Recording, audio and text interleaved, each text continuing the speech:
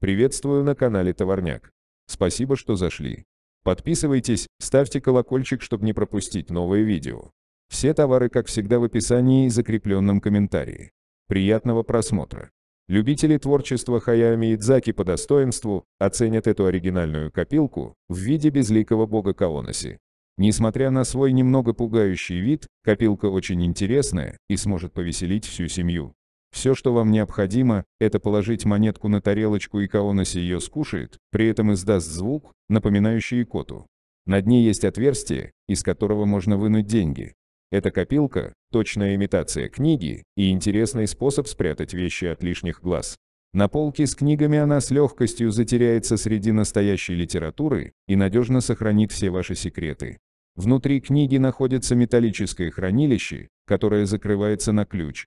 В ней можно хранить деньги, ключи, тайные письма и прочие ценные предметы. Эта милая копилка приведет в восторг как детей, так и взрослых. Имеет вид небольшой коробки из пластика, внутри которой панда-воришка.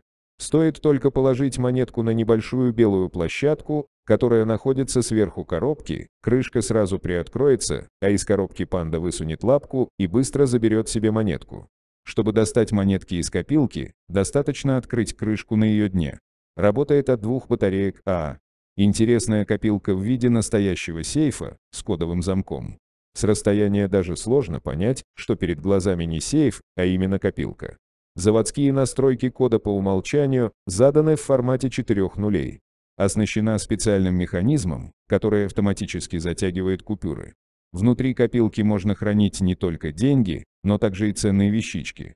Размеры 19 на 13 на 13 сантиметров. Работает от три батарейки типа А. Копилка, которая не оставит равнодушным ни взрослого, ни тем более ребенка и вмиг поднимет настроение. Выполнена из резины и пластмассы. На мордочке есть глаза и рот. Выглядит очень реалистично. Особенность копилки в том, что когда подносишь монетку к ее лицу, копилка открывает рот и начинает жевать монетку, а после проглатывает ее. Такая копилка может стать прекрасным подарком. Питается от батареек.